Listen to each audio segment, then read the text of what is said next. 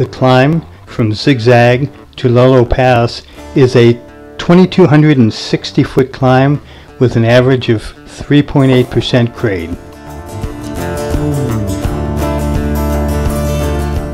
For the first three miles, the climb is gentle, then it keeps getting steeper and steeper until about mile 6.5, where you'll get about a one mile respite before the final 3 mile, 825 foot push to the top.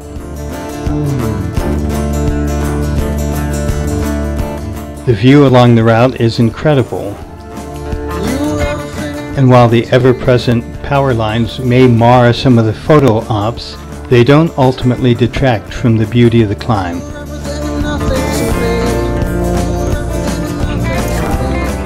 Where you see the cars parked for the Pacific Crest Trail, you know you're at the top. Keep going and you'll ultimately end up in Hood River.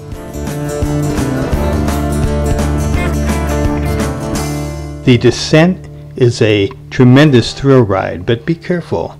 At mile 5, the road is washed out for a bit, and the washout is hidden by some trees. So keep alert.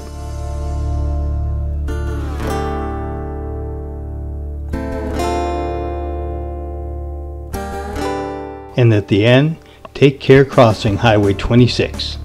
Thanks for watching.